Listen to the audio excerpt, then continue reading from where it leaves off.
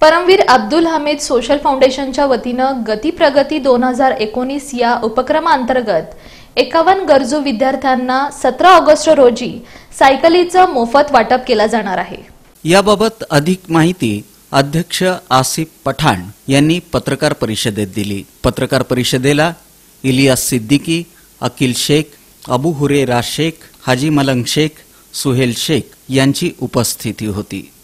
सतरा तारखेला गरजू अनाथ विद्यार्थ्यांना मी एकावन्न सायकल वाटप करणार करणार आहोत. छत्रपती शि शिवाजी रंगभवन येथे. साय सायंकाळी साडेपाच वाजता हा कार्यक्रम आहे. विशेष म्हणजे हा म- गेल्या महिन्या दीड महिन्यापासून आम्ही समाजातील दानशूर व्यक्तींना आव्हान केलं होतं की आपल्याकडे अडगडी तो भंगार सायकली जी पडलेली आहे ती आमच्या संस्थेला दान करावं. आणि ती सायकल आम्ही पूर्ण घेऊन त्याला रंगरवटी करून त्याचं सर्व जीर्णोद्धार करून त्या एकावन्न सायकली आम्ही गरजू अनाथ विद्यार्थ्यांना येत्या सतरा तारखेला सायंकाळी पाच वाजता छत्रपती रंगभवन येथे एक कार्यक्रमाच्या द्वारे जाहीर कार्यक्रमाच्या द्वारे आपण वाटप करणार आहोत.